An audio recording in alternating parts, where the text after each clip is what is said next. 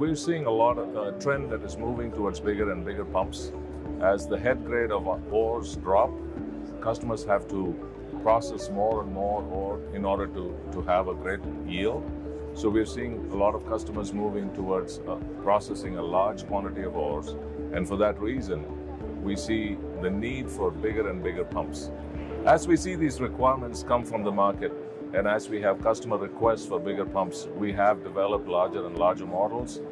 Of late, we have developed the TBC 92, which is our biggest pump for tailings applications in the oil sands. We've also developed the DWD 2500, which is the largest uh, pump on board a cutter suction dredge in the world. So we see that trend even in cyclone feed applications where the need for an 850 size pump it, it is happening on a regular basis. And it is GIW's intention to develop these larger pumps. And I believe we are one, one of very few companies who can develop and successfully manufacture and supply and support pumps of this size.